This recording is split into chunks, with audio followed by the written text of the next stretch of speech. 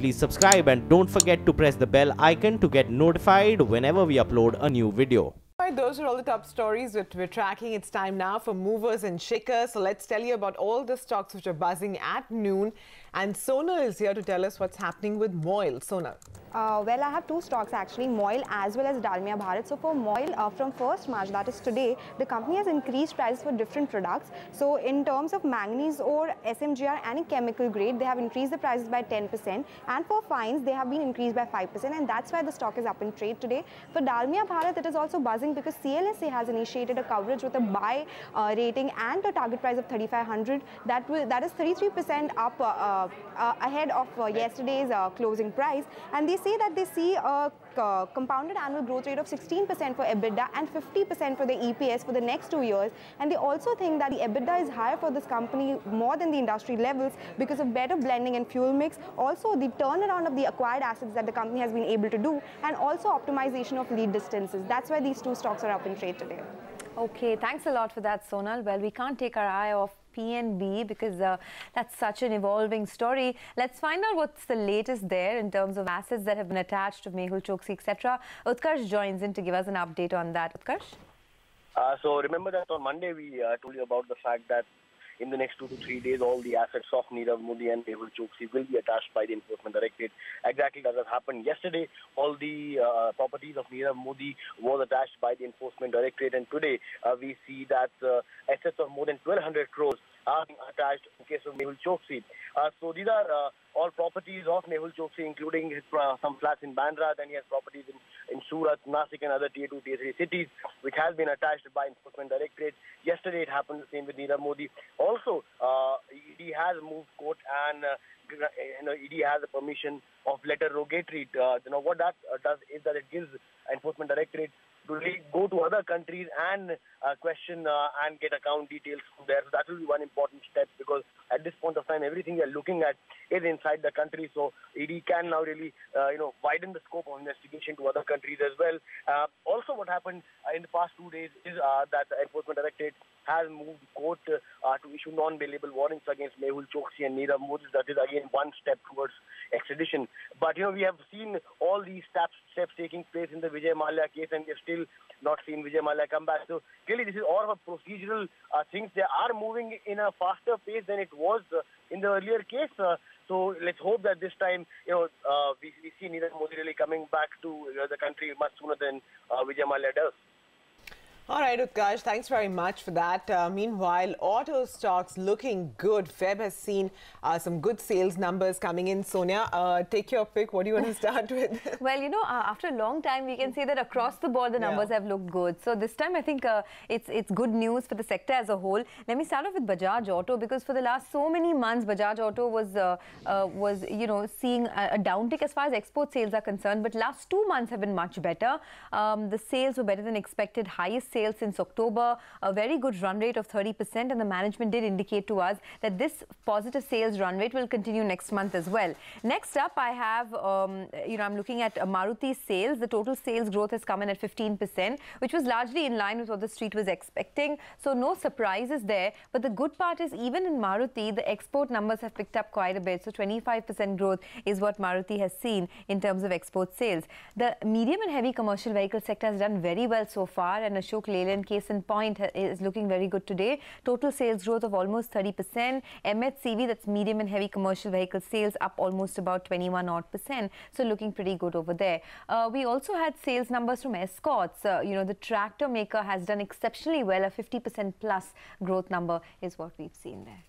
All right, and uh, we also caught up with S. Ravi Kumar, President of Business Development at Bajaj Auto earlier this morning to talk about uh, their plans going ahead for uh, the second month running, um, it is a 3 lakh uh, 50,000 plus type of a number that we have uh, reported. And I think in March also we should uh, certainly cross that uh, 350 plus, and uh, that's that's what I would say right now. I mean, for the last uh, few months when we are talking, we are telling you that uh, 145 to 150 range is what we will uh, deliver. That is happening um, very nicely. Almost all the markets um, um, Africa has uh, uh, done very nicely. Bangladesh has done. Nepal is doing well. Philippines is doing well. New markets are uh, adding uh, good numbers. Okay, that's a very confident Bajaj Auto telling us that export markets have picked up quite a bit. But the other stock of the day today is Ashoka Buildcon. It's up almost about 6 odd percent. We spoke to the management Satish Parakh a while back on the order wins from Macquarie and Jharkhand, where he expects EPC margins of 12 to 13 percent. It's a huge order that they've won. He also clarifies that there's no equity commitment from the company for this particular project. Listen in. TOT is the first of its kind, and uh, Macquarie has bid for this project, and Ashoka is O&M partner in this project. So our part will be EPC to the tune of 1,025 crores in first two years, and we are likely to get O&M for next 30 years. Also, EPC margins, as we are doing for all of the projects, from 12 to 14 percent. All right, so let's quickly recap then the list of top buzzing stocks. There's PNB, Moil, Dalmia Bharat, Ashoka Buildcon, Bajaj Auto, Maruti, Escorts, as well as uh, Ashok Leyland. So that's pretty much all the good auto sales numbers that have come into the stocks. Not doing so well. Okay, but I think we need to brace ourselves for a very, very hot summer, right? This time around. I mean, if you thought last year was bad, Indians need to be ready for the heat this summer as well as the Met Department has forecasted a blazing summer across North India. Here's a word coming in from DS Pai, the Director Long Range Forecast at the Indian Met Department. Listen in.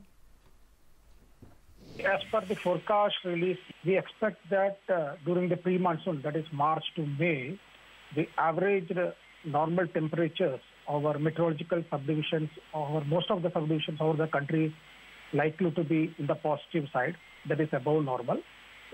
However, uh, seasonal average temperature over many subdivisions from northwest and neighboring central India, they are likely to be uh, slightly more than one degree.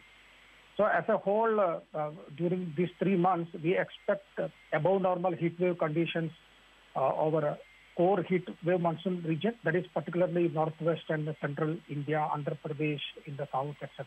And as promised, let's get you some opinion now. Just last evening, the Indian GDP numbers crossed the 7% growth mark. After a full year, we had the gross capital formation number, which grew 12%, and that was a pretty uh, big one. A recent report by Cartica Capital maintains that India is one of the best emerging market stories, and in fact, they believe in the long-term growth potential as well.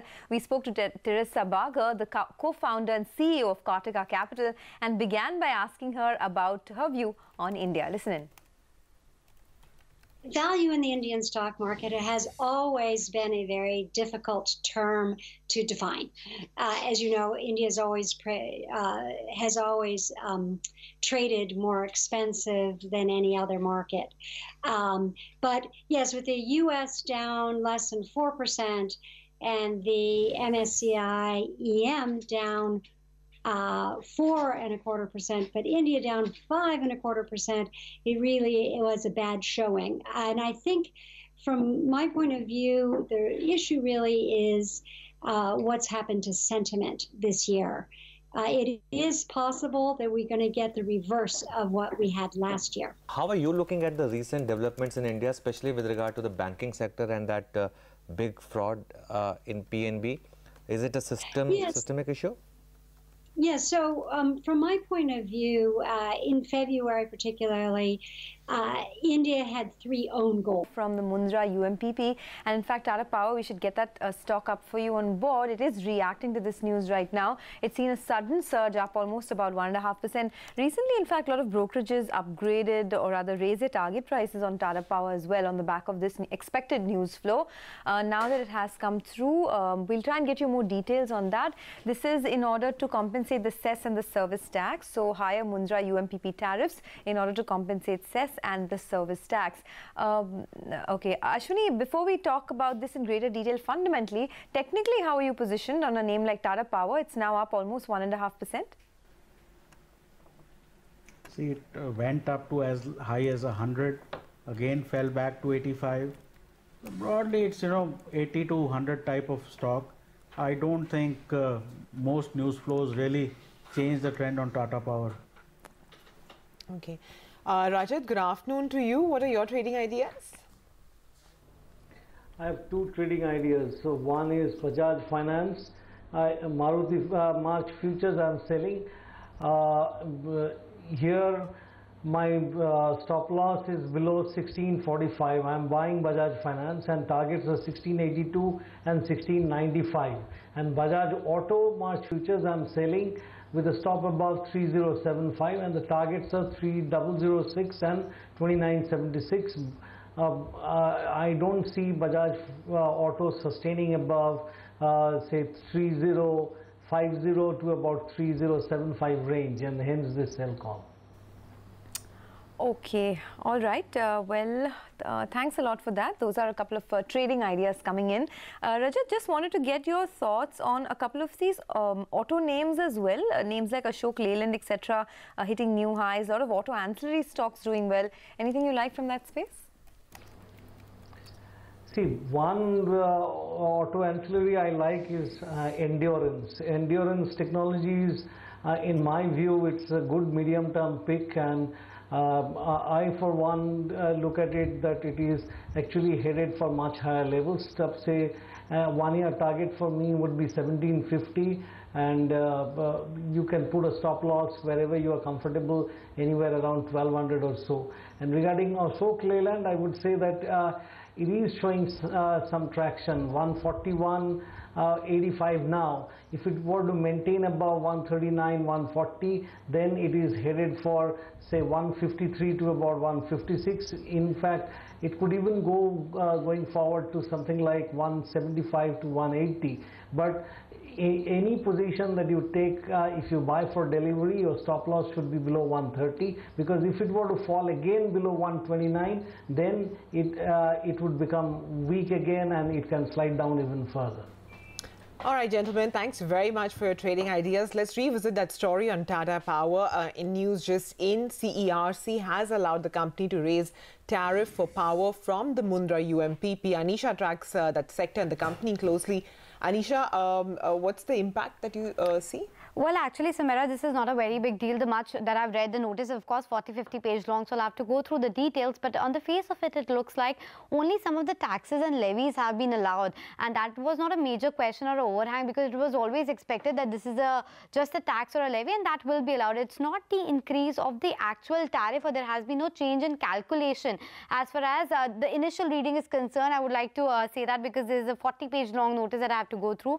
They have just allowed the service tax on transportation of goods. They have allowed the levy of Swachh Bharat cess and the Krishi Kalyan cess. So I don't see that as a major, uh, you know, breather for the company because the issue of Mundra losses continue. The issue of uh, uh, the, the tariff being uh, low and the under recoveries being there continues. It's only the taxes which were levied. They have been passed on, which is a very usual uh, business as usual for them. So I don't see it as a major positive, but I'll just go through the entire notice and tell you if there's any incremental news from that. The most important would be if there's any change as far as the tariffs are concerned. Right. But as of now, there's nothing that's come through. That's a very important clarification. Uh, we'll wait for you to and go through that.